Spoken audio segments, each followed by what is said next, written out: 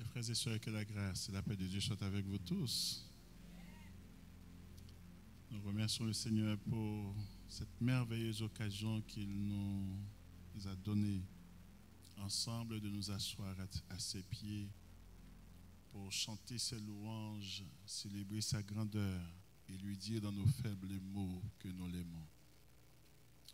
Avec des sentiments qui nous animent individuellement, sentiment de reconnaissance profonde, sentiment de crainte pour son nom, d'appréciation de chacune de ses interventions dans notre vie personnelle. À chaque fois qu'il a penché son oreille vers nous pour écouter nos plaintes, nos gémissements, nos soupirs. nous sommes venus lui dire merci. Nous sommes dans ce thème de l'année. Est-ce que quelqu'un se souvient du thème de l'année encore? La prière. On va accepter la prière. On va accepter la prière. Et nous arrivons à cette partie euh, de cet enseignement parfait et complet que le Seigneur nous a donné sur la prière. Sur voici donc comment tous ses disciples, tous ses enfants doivent prier. Nous arrivons à cette partie qui dit que ton règne vienne. Que ton règne vienne. Nous avons déjà exploré cet aspect de cet enseignement il nous reste encore des choses à voir. Et aujourd'hui, nous allons regarder un aspect, une facette de ce royaume. Une facette de ce royaume. Le thème du message de Jean-Baptiste comme précurseur pour préparer la venue du Messie, selon Matthieu chapitre 3, le verset 2, c'est repentez-vous Repentez-vous car le royaume des, cieux est proche.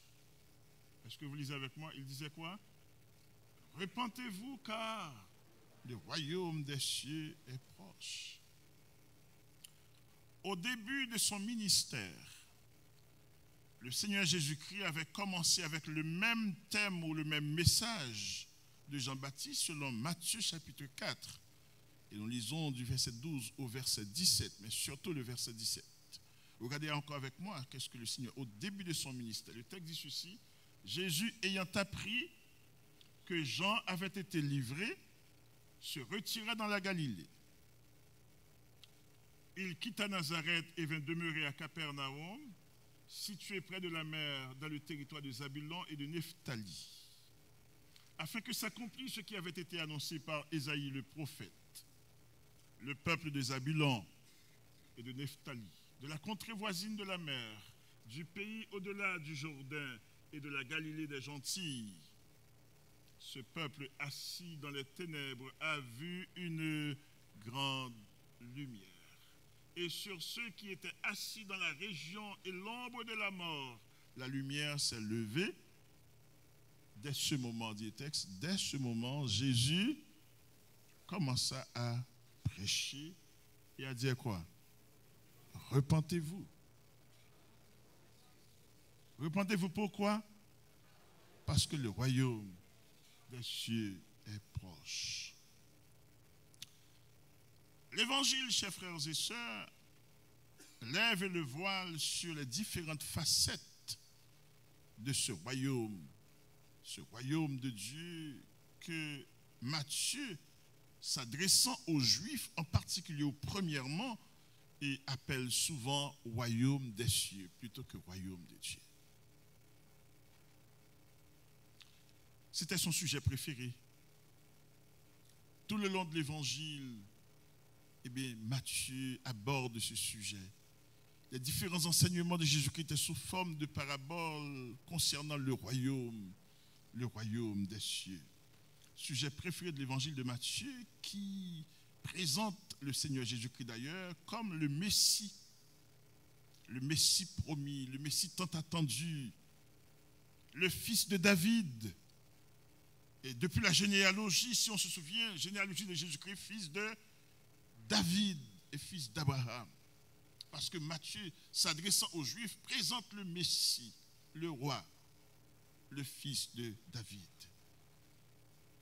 celui qui plus tard a été présenté à, tout Israël.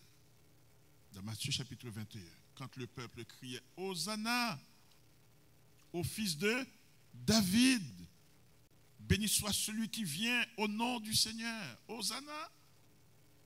Hosanna. Frères et sœurs, le roi, c'est Jésus-Christ lui-même.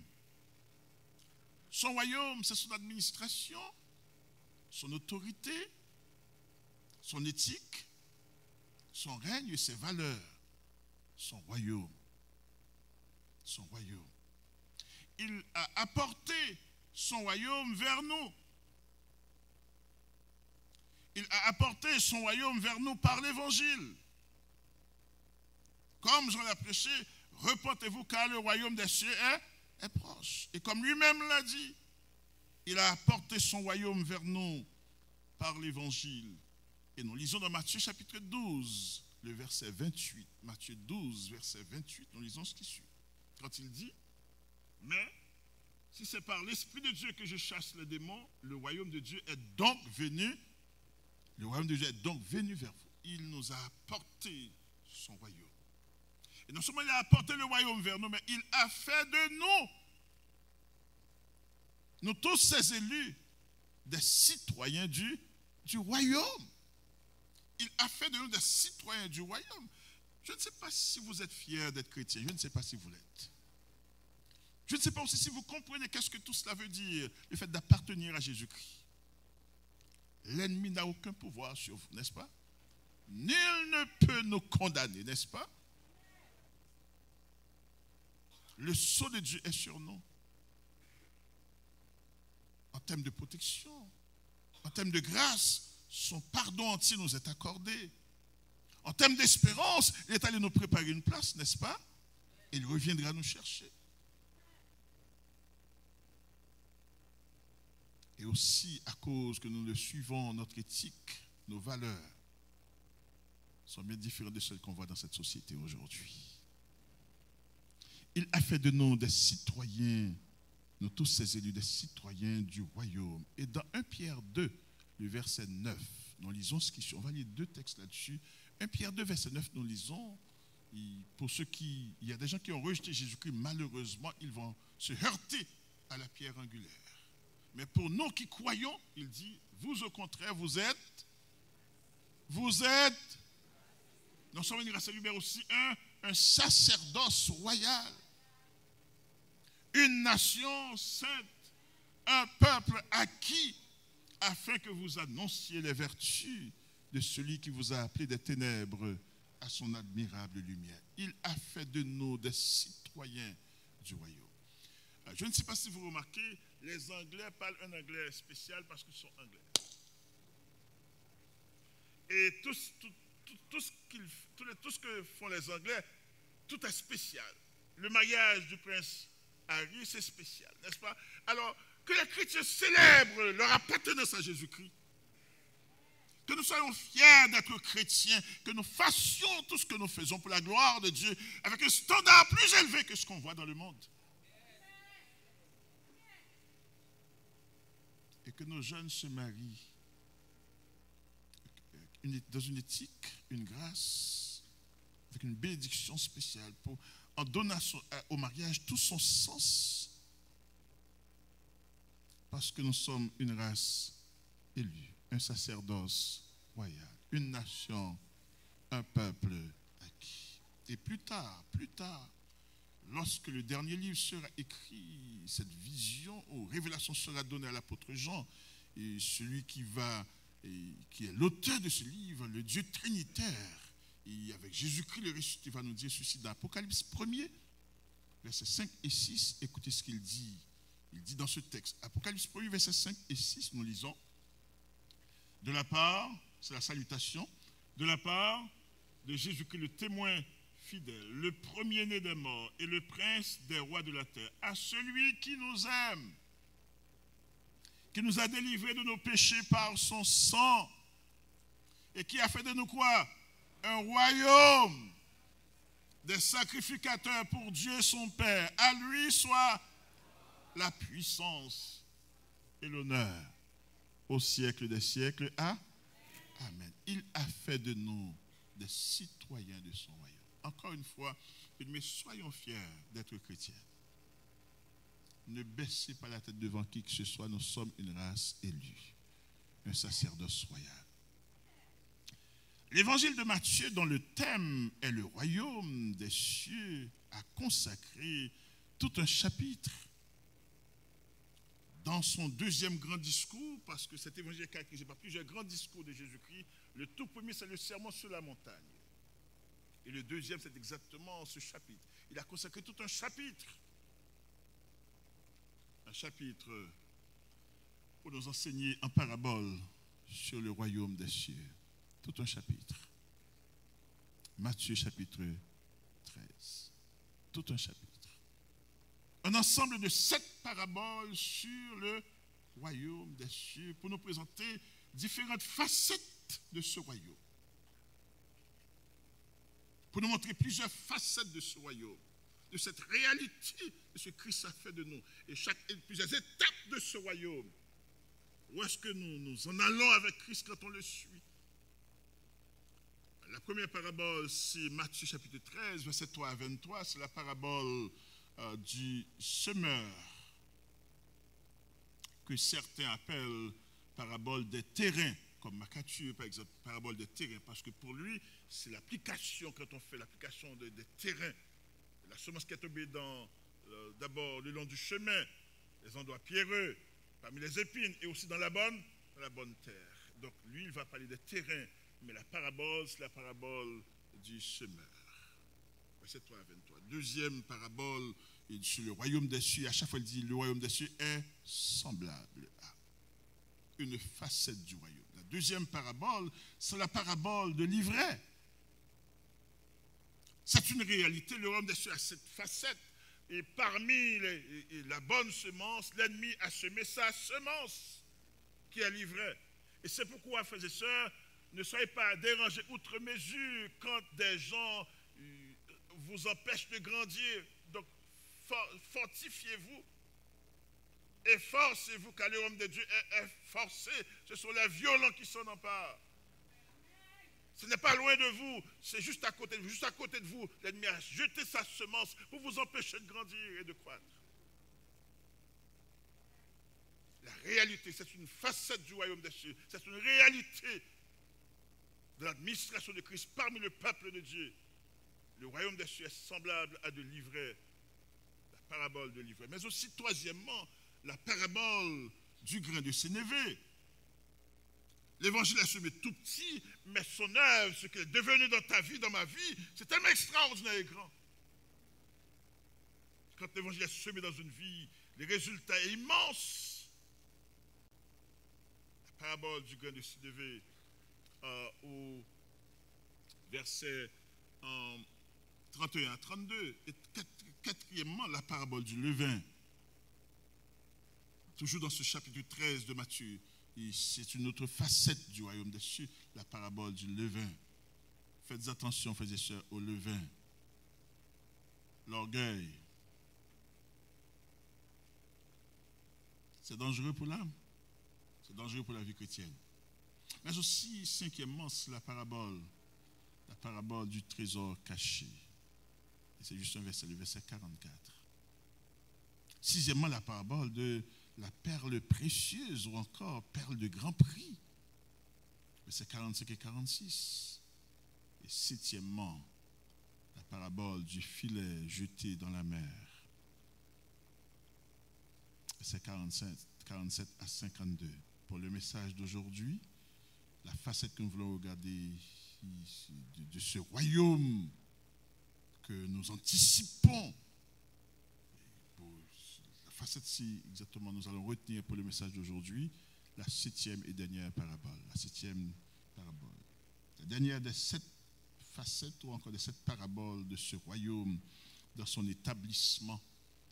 Le royaume des cieux est semblable à un filet jeté dans la mer. On va se lever lire Matthieu chapitre 13.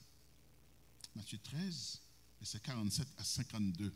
On va lire ensemble ce passage. Matthieu 13, verset 47 à 52.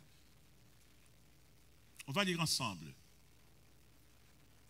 On va prêter attention, on va prêter, faire attention au, au signe de ponctuation et puis on va continuer à adorer le Seigneur. Matthieu 13, verset 47 qui dit, le royaume des cieux est encore semblable à un filet jeté dans la mer et ramassant des poissons de toute espèce. Quand il est rempli, les pêcheurs le tirent et après s'être assis sur le rivage, ils mettent dans des vases ce qui est bon et ils jettent ce qui est mauvais.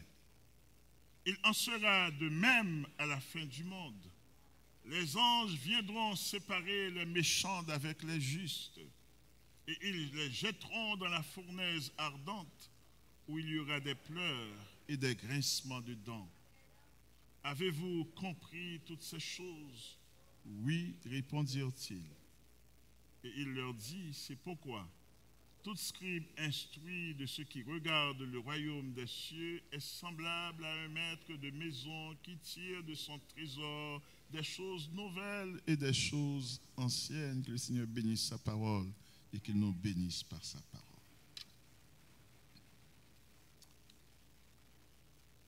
Voici dans cette septième parabole qui nous présente une autre facette, une facette future du royaume des cieux, quand on dit que ton règne vienne, Seigneur, c'est sûr que nous aurons l'occasion, dans deux, autres, deux derniers messages, sur que ton règne vienne, regarder finalement qu'est-ce que ça veut dire et de quel royaume, parce qu'il dit, on s'adresse à notre Père, il dit que ton règne vienne. On veut aller dans, en profondeur là-dessus, mais regardons cette facette aujourd'hui.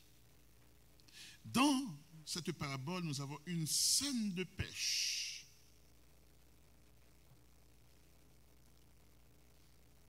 ce n'est pas touristique, c'est professionnel. Nous avons une scène de pêche. Et voici dans les versets 47 et 48, le texte dit que le royaume des cieux est semblable à un filet jeté dans la mer. Le filet est jeté dans la mer. Je ne sais pas si vous vous souvenez, Jésus-Christ avait dit à Pierre et Jean et aussi et à leurs frères, je vous ferai quoi? Pêcheurs d'hommes. Ils sont en train de vivre cela. La parabole décrit bien tout cet aspect-là. Pêcheurs d'hommes.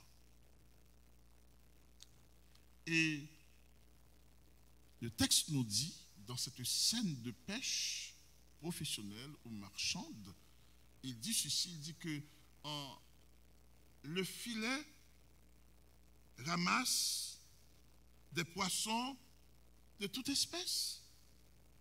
De toute espèce. En d'autres mots, quand le filet est jeté dans la mer, on ne fait pas de différence qui y entre. Et on ne peut pas le faire. On ne peut pas le faire. Le filet ramasse des poissons de toute espèce on ne compte. Ce n'est pas là qu'on fait la différence. Effectivement, maintenant, le filet de l'évangile jeté dans la mer du monde s'adresse à tous les hommes. À tous les hommes. Jésus-Christ dit, allez faire de toutes les nations des disciples, les baptisant au nom du Père, du Fils et du Saint-Esprit. Et enseigne-leur à observer et Marc dira plus tard dans Marc 16, 15, allez partout le monde et prêchez la bonne nouvelle. Celui qui croit et qui sera baptisé sera sauvé. Le filet de l'évangile jeté par des serviteurs de Dieu dans la mer du monde s'adresse à tous les hommes. À tous les hommes. Et Dieu ne fait exception de personne. De personne que c'est l'image, c'est une réalité du royaume, du royaume des cieux, une facette réelle. Le filet jeté dans la mer du monde s'adresse à tous les hommes. L'évangile prêché invite tous les hommes à accepter Christ comme sauveur et Seigneur. Tous les hommes, toutes les femmes, tous les jeunes, toutes les femmes, jeunes et vieux, blancs, noirs, rouges, jaunes, tout le monde. L'évangile s'adresse à tous les hommes sortes de gens. Dieu ne fait exception de, de personne. Et c'est pourquoi toi et moi, nous sommes là aujourd'hui.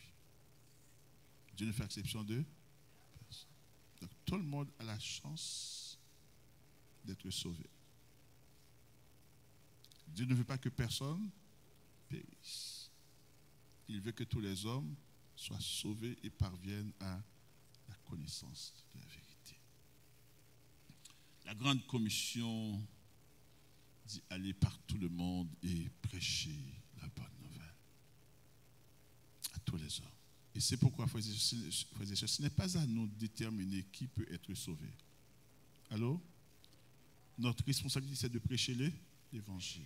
Dieu nous demande d'annoncer l'évangile. Écoutez, qu'on veut l'entendre ou non, prêcher l'évangile. Dans toutes les occasions. De toutes les manières possibles. On nous dit de ne pas en parler, on ne veut pas qu'on ouvre la Bible, mais on ne peut pas nous empêcher de vivre la Bible. Quand on nous voit eh, différents des autres, quand on nous voit sans tatouage, à tout, tout ce que vous voudriez, quand on nous voit totalement différents, quand on nous voit avant de manger prier, quand on nous voit avec une conduite et puis une paix que Jésus-Christ seul donne, dans le moment le plus difficile, certainement des gens vont, vont venir à nous pour nous demander notre secret parce qu'ils sont dans un temps troublé. Personne ne peut nous empêcher de vivre l'évangile. Si on ne veut pas nous entendre, on va voir l'évangile en nous. Personne ne peut fermer les yeux. Quand les gens volent, quand les gens couchent pas si par nous sommes différents. Nous sommes différents. Quand les jeunes se cohabitent, et puis nous, nous on se marie, et puis notre mariage dure parce que nous sommes différents. Nous sommes différents. Aujourd'hui, un mariage réussi vaut plus que milliards. Vaut plus que milliards. Et quand maintenant on voit les chrétiens qui se marient, qui sont, ils n'ont pas, pas de milliards, mais ils sont heureux, ils vont, ils vont certainement se questionner, s'enquisitionner pour voir, mais quel est notre secret? Et notre secret n'est pas différent, c'est l'évangile. L'évangile de grâce, l'évangile du salut. Et c'est pourquoi, jeunes gens, Fortifiez-vous dans le Seigneur. Grandissez en Christ pour pouvoir réussir et vivre l'évangile comme il faut. Personne ne pourra fermer l'évangile, la Bible dans votre vie. Personne. Nous sommes dans ce temps où les gens doivent nous voir et voir Christ en nous. Voir Christ au travers de nous. Donc, la Bible nous dit que le filet de l'évangile jeté dans la mer du monde parce que Jésus a fait de nous des pécheurs d'âme ou des pécheurs d'âme s'adresse à tous les hommes. Nous sommes ces pécheurs spirituels. Pas pécheurs, non pécheurs. Il n'y a pas de pécheurs spirituels, ok? Une deuxième chose que cette parabole nous révèle, une deuxième face, dans, dans cette facette du royaume des cieux, il nous dit qu'il viendra un jour, frères et sœurs, où le filet sera rempli. Il viendra le jour où le filet sera rempli.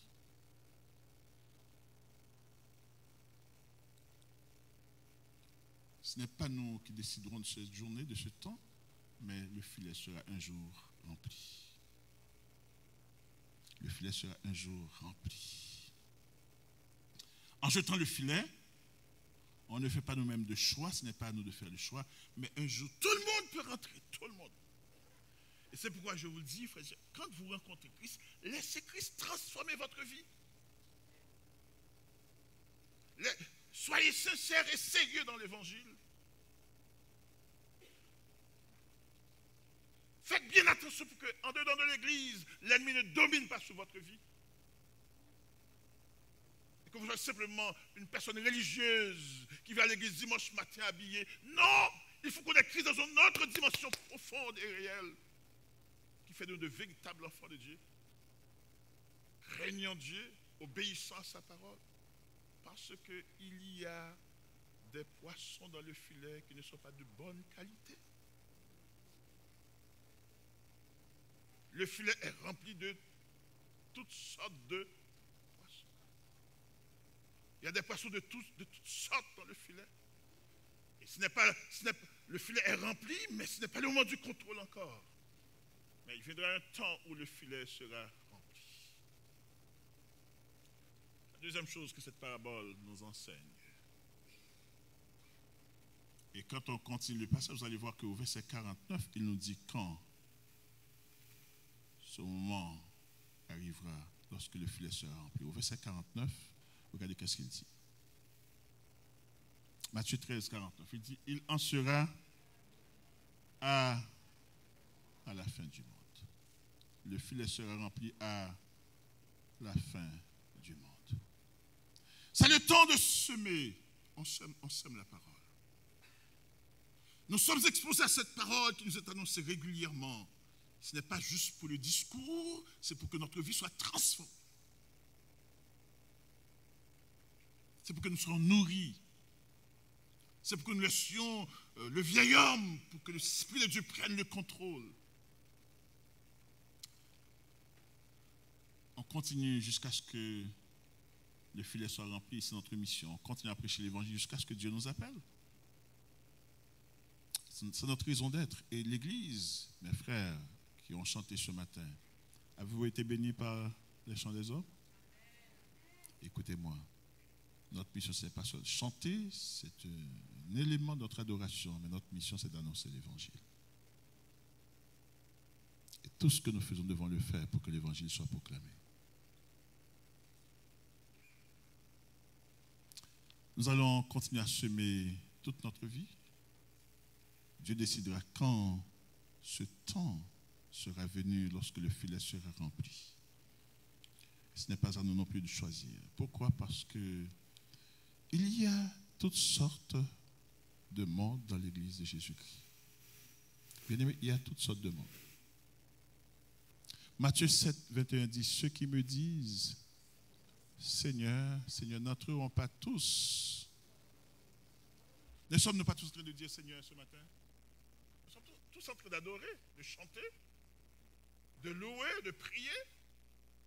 Nous sommes en train de dire Seigneur à notre manière, mais tous n'entreront pas dans le royaume des cieux. Et c'est pourquoi moi je veux y entrer et toi? Alors arrangeons-nous pour y entrer. Mais c'est une réalité. Dans l'église de Jésus-Christ, il y a des gens qui chantent, qui prient, qui prêchent, qui dirigent et qui n'entreront pas dans le royaume des cieux.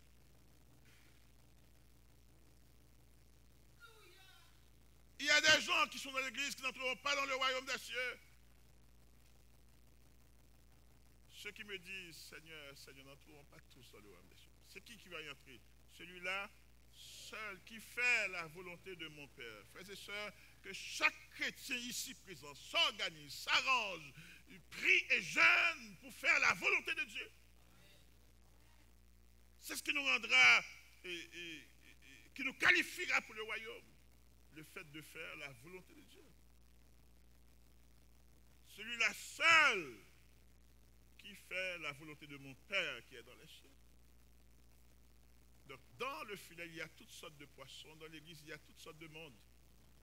Et n'oubliez pas, si Matthieu 7, 21 dit, ceux qui me disent Seigneur, Matthieu 25 dit, il y a cinq vierges sages et cinq vierges folles. Parmi nous, il y a des gens qui sont fous spirituellement malheureusement, qui n'écoutent pas la parole, qui ne gardent rien et qui pensent qu'ils sont plus intelligents que Dieu.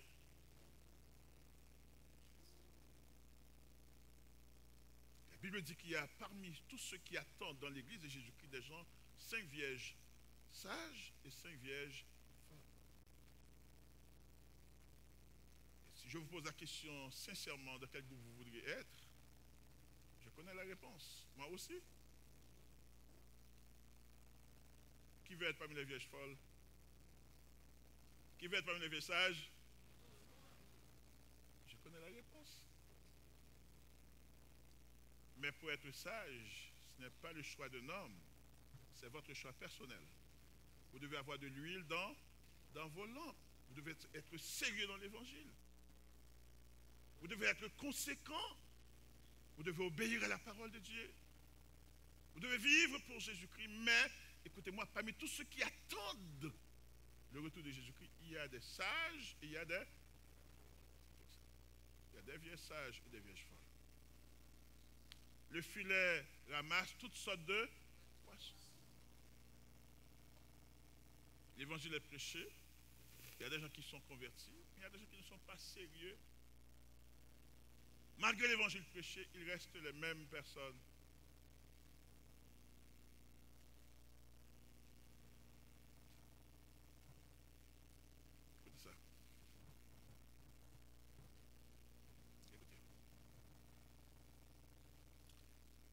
Bible dit qu'à la fin du monde, quand le filet sera rempli, troisième élément de cet enseignement, troisième, de cette facette de ce royaume des cieux, il y aura un tri. Verset 49, regardez bien ceci. Il y aura un tri. À la fin du monde, il y aura un tri. Il en sera de même à la fin du monde. Un tri. Parce que le verset 48 a déjà dit, si vous lisez le verset 48, vous allez voir, il dit, lorsque le filet est rempli, et puis c'est cette scène d'ailleurs qui est l'essentiel euh, de, cette, parabole du royaume, et puis les pêcheurs viennent s'asseoir sur le rivage maintenant pour trier, pour faire le tri. Parce qu'il y a des poissons qui ne sont pas utilisables. Bien-aimés frères et sœurs dans le Seigneur, je vais insister encore, on n'est pas chrétien pour être dans une religion, on est chrétien pour faire plaisir à notre Seigneur. On est chrétien pour faire ce que Dieu dit, on est chrétien pour obéir à la parole de Dieu.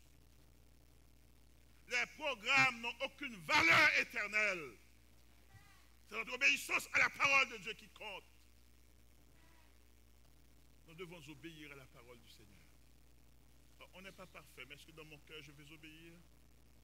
Est-ce que dans mon cœur je faire plaisir à mon Dieu? Est-ce que je suis chrétien pour de vrai? Quand la parole de Dieu parle et puis j'obéis Parce que Dieu a parlé Il y aura, c'est ce que, relisez encore le verset, quand il est rempli, les pécheurs le tirent. Et après s'être assis sur le rivage, ils mettent dans des vases ce qui est bon et il jette ce qui est. Et puis, je regarde, je regarde. tu vois, ça dépend du pays. Il y a, des places où c'est fait électroniquement, etc. Mais il y a des places aussi, le, le pêche pas l'état. Vase Je sais pas. Je, suis en train de vivre cette image. Peut-être que maintenant faire l'application au verset 49. On nous dit que Écoutez, verset 49 dans dit, dit, il y aura un tri. Et l'essentiel de cette parabole, leçon principale de cet enseignement, révélation euh, dominante euh, de cette facette du royaume des cieux, il dit, écoutez, voici ce que font les pécheurs. Et puis, eh bien, comme font les pécheurs, à la fin, du monde, à la fin des temps, il y aura aussi un tri, et puis ce ne sera pas un homme qui le fera, ni le pasteur, ni un ami, mais c'est des anges. C'est des anges. Les anges ont la caractéristique de ne pas connaître personne, de ne pas regarder personne. Les anges ont la caractéristique de faire exactement comme on leur a dit, comme Dieu leur a dit. Et puis les anges, écoutez, tu peux être tout ce que tu, veux être, l'ange va accomplir la volonté du Seigneur. Donc ça veut dire qu'il n'y aura pas de rapport personnel, il n'y aura pas de... Les anges vont exécuter l'ordre du Seigneur. Le tri sera impartial, frères et sœurs. Ce ne sera pas tes inspirations, mes inspirations, c'est plutôt la note riche, la qualité du chrétien que tu es devant Dieu le poids que tu pèses sur la balance de Dieu. C'est des anges qui vont s'occuper de cet aspect-là, des anges, avec des instructions précises. Le texte dit au verset 49, il en sera de même. Quand ça? À la fin du monde. Les anges viendront séparer les méchants d'avec les justes. Il y aura une séparation. Ce n'est pas aujourd'hui. Tout le monde chante aujourd'hui, tout le monde prêche, tout le monde prie. Ce n'est pas aujourd'hui. Mais il y aura un tri. Il y aura un tri. Il y aura un tri, c'est une facette, c'est une réalité du royaume. Ce temps viendra certainement. Où Dieu fera séparer les justes avec les, les injustes. Et Dieu n'est pas injuste pour mettre tout le monde dans le même panier. Allô? Dieu connaît ceux qui lui sont fidèles. Allô, frères et sœurs? Dieu connaît ceux qui marchent avec, avec sincérité de cœur. Il le sait. Il nous connaît. Même quand personne ne nous voit, il nous connaît. Il y aura un tri. Il y aura un tri. Avant de terminer ce message, laisse-moi souligner spécialement cet aspect-là. il y aura ce tri. Comme font les pécheurs à la fin des temps, des anges viendront séparer les justes avec les injustes. Et notez bien, ce n'est pas juste une séparation pour étiqueter et dire que toi tu es juste, toi tu es injuste. Non, ce n'est pas juste ça. C'est une séparation des justes avec les injustes, et puis les injustes seront jetés dans la fournaise ardente des pleurs et des grincements de dents. Donc ce n'est pas une plaisanterie, servir le Seigneur. Ce n'est pas pour le pasteur servir le Seigneur, c'est pour vous-même, c'est pour l'éternité, c'est pour la gloire de Dieu, n'est-ce pas? C'est pour la gloire de Dieu. C'est pour la gloire de Dieu, c'est ce que le texte nous dit. Et puis, ça, ça me trouble parce que je me suis dit, Seigneur, préserve-moi. Alors pour que je passe ma vie à chanter de la chorale, ma vie à être pasteur, ma vie à servir. Puis au dernier jour, Christ me dit, je ne pourrais même pas m'excuser, parce que l'ange ne prendra pas d'excuses. Tout est devant lui. D'ailleurs, ce n'est pas à lui de prendre des excuses. Et, il exécute l'ordre de son Seigneur. Donc ce n'est pas une question je suis pasteur, prédicateur. Ça n'a pas d'importance. Ça n'a pas d'importance. Voilà pourquoi je voudrais terminer euh, le message aujourd'hui avec cette question-là. Êtes-vous un chrétien méchant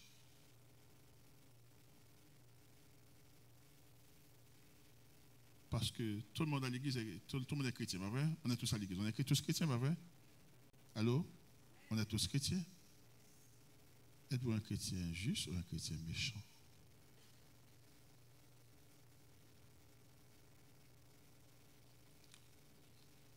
Cette parabole s'adresse à nous, à l'intérieur de l'Église. À nous qui portons le nom de chrétien. Vous et moi, sommes-nous des serviteurs méchants Serviteurs méchants qui cachons les talents que le Seigneur nous a donnés et qui accumulons des excuses à chaque fois. Le pasteur est méchant. Les fidèles sont hypocrites.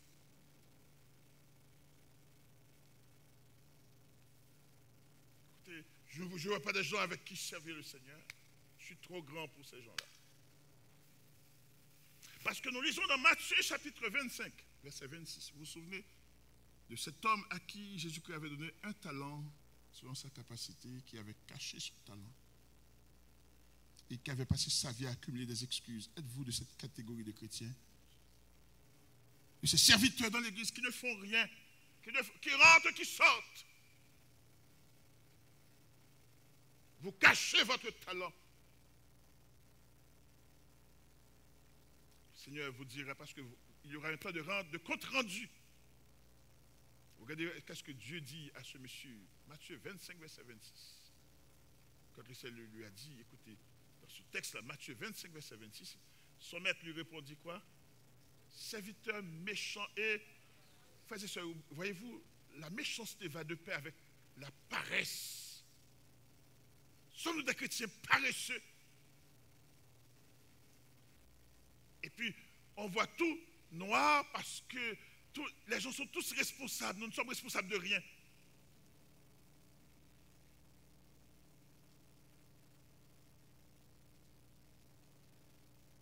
Si au dernier jour Christ vous qualifie de méchant, c'est fini. Il n'y a pas de remède, il n'y a pas de solution. Il n'y a pas d'autre alternative. Il y aura une séparation des justes, des méchants avec les, les justes. Êtes-vous, frères et sœurs, un serviteur méchant qui cache ton talent, qui ne fait rien dans l'église de Jésus-Christ, alors que c'est un honneur pour vous et pour moi de servir le Seigneur. J'ai parlé avec Chani qui avait des, jours de travail et puis qui avait cette activité. Il m'a dit, je bénis le Seigneur parce que c'est un miracle. Travailler de nuit, être capable de faire tout ce qu'il a fait, etc. Sortir, pas dormir, etc. Tout cela. Et je lui ai dit, écoutez, tu sais, dans mon expérience personnelle, plus on sert le Seigneur, plus le Seigneur augmente notre force. Plus il nous bénit,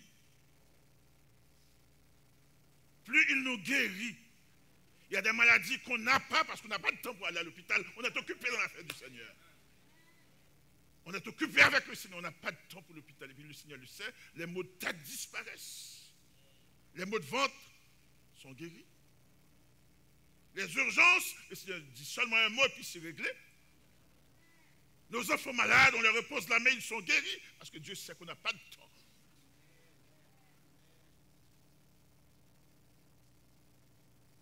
Si vous qualifiez de serviteur méchant, vous passez votre vie à regarder des choses négatives. Il y a ci, il y a ça, et puis des excuses pour ne pas servir le Seigneur.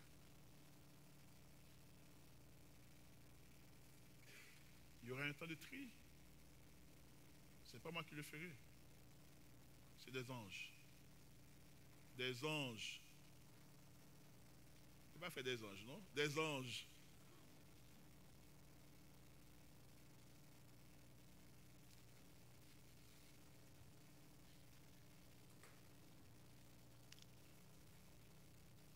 Et sœurs,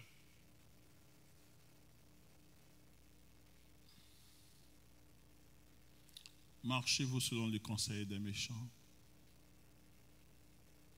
Le psaume premier dit Heureux l'homme qui ne marche pas selon, qui ne s'arrête pas et qui ne s'assied pas. Il y a des chrétiens, des jeunes chrétiens comme des adultes, comme des hommes en particulier, qui ont du temps pour tout ce qui est vanité. Tout ce qui ne fait pas de sens. Tout Et puis, ils n'ont jamais de temps pour persévérer, pour grandir.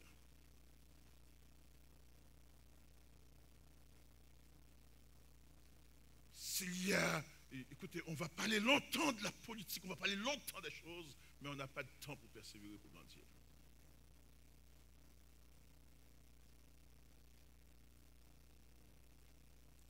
Heureux l'homme qui ne marche pas selon le conseil des méchants, qui ne s'arrête pas sur la voie des et qui ne s'arrête. Finalement, tu vois les trois mouvements marcher, camper et puis s'asseoir. S'arrêter. Vois-tu Écoutez, trois mouvements vers le bas au lieu de nous asseoir au pied du Seigneur. Je suis tellement béni par le choix de Marie quand cette femme, écoutez bien, cette femme a choisi sciemment, volontairement, de s'asseoir pendant le passage du maître dans sa maison, où sa sœur l'avait invité avec ses disciples. Elle a choisi elle-même de saisir ce temps pour s'asseoir au pied du Seigneur. Puis Marthe qui croyait que la chose la plus importante, la plus urgente, c'est de faire bonne impression et de bien accueillir le Seigneur, a été frustrée de voir que sa soeur n'a rien compris, seule autre femme de la maison. Puis, elle était frustrée jusqu'à ce que sa frustration va, jusqu'à s'adresser directement. Seigneur, dis-lui donc de venir m'aider. Elle me laisse seule pour servir. Et au sein de répondre à Marthe, Marthe, Marthe, tu t'agites et tu t'inquiètes pour beaucoup de choses. Une seule chose est nécessaire. Et ce n'est pas ton choix. C'est le choix de ta soeur. Marie a choisi la bonne part, qui ne lui sera point ôtée. Le Seigneur a élevé le choix et puis c'est une leçon pour nous chrétiens. Vous savez que nous sommes dans cette lutte de penser les œuvres doivent venir avant notre consécration. Et Dieu est en train de nous dire que la consécration vient avant nos œuvres. Notre consécration vient. Dieu n'a pas besoin qu'on lui rende service. Dieu a besoin de serviteurs qui le servent. Dieu a besoin des gens consacrés à son service. Des gens qui l'aiment, qui lui obéissent. Mais beaucoup de gens pensent que je rends service à Dieu, à Dieu et puis je fais ce que je veux.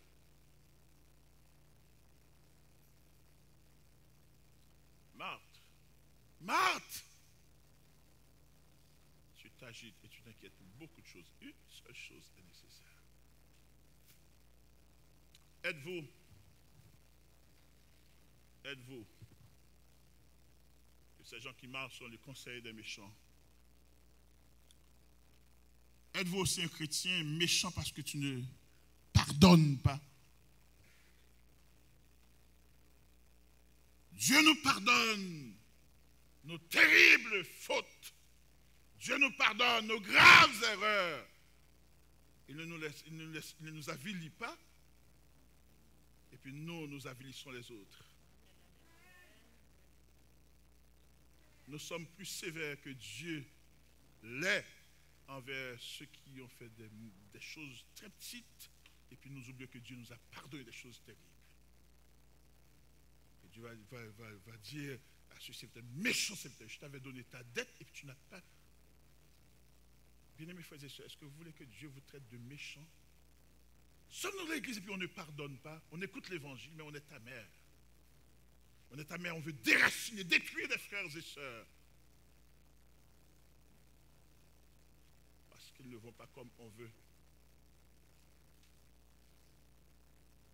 Sommes de ces gens qui ne pardonnent pas, qui sont traités de méchants. Matthieu 18, verset 32. Matthieu 18, verset 32.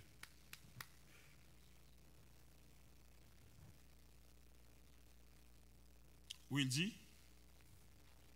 et c'est le Seigneur qui parle, il a fait chercher ce serviteur qui ne pardonne pas. Pour, lui dire, alors le maître fit appeler ce serviteur et lui dit quoi? Méchant serviteur. Je t'avais remis en entier ta dette parce que tu m'en avais. Ne devrais-tu pas aussi remettre à l'autre? Oh, Juste au moment l'écouter, lui donner du temps. Serons-nous traités de méchants parce qu'on refuse de pardonner? Et finalement, laissez-moi dire ceci. Êtes-vous un mari méchant? Un époux méchant Une épouse méchante?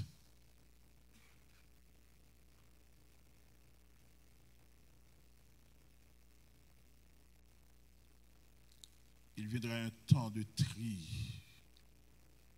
C'est quand ça, à la fin du monde, lorsque Dieu enverra des anges pour séparer les méchants d'avec les justes. Vous pouvez donner bonne impression, mais Dieu pas prendre comme bel homme. C'est pas ça, monsieur? Bon Dieu pas prendre comme bel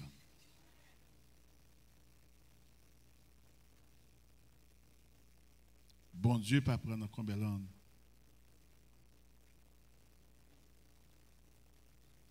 Que le Seigneur nous bénisse et qu'on vive pour sa gloire. La parabole est simple, pas compliquée, mais le message est clair. Aujourd'hui, l'évangile s'adresse à tous les hommes de toute espèce, de tout genre, ce n'est pas pour vous laisser comme vous êtes, c'est pour vous transformer. Vous n'êtes pas chrétien pour appartenir à une religion, vous êtes chrétien pour servir le Seigneur. Servons le Seigneur, obéissons à sa parole. si vous vous croyez tellement intelligent, mon frère et ma soeur, au dernier jour, vous le regretterez et il sera trop tard. Vous allez vouloir revenir sur terre pour vivre tout ce que vous, vous n'aviez jamais voulu faire vous serez prêt à faire n'importe quoi, il sera trop tard. C'était l'histoire des vierges folles. Elle était prête à aller de nuit chercher une place où l'on vendait de l'huile, mais les portes étaient fermées. Et même s'ils en avaient trouvé, eh bien, ce n'était plus compté, parce que la porte de l'époux était déjà fermée. Bien aimé dans le Seigneur, c'est aujourd'hui le jour du salut. Dieu ne nous parle pas pour un discours, Dieu nous parle pour que notre vie soit transformée. Que nous écoutions sa voix, que nous mettions en pratique sa parole. Et je vous rappelle encore les trois mots du Deutéronome. C'était quoi encore les trois mots? Écouter, observer et mettre en pratique. Que Dieu vous bénisse abondamment.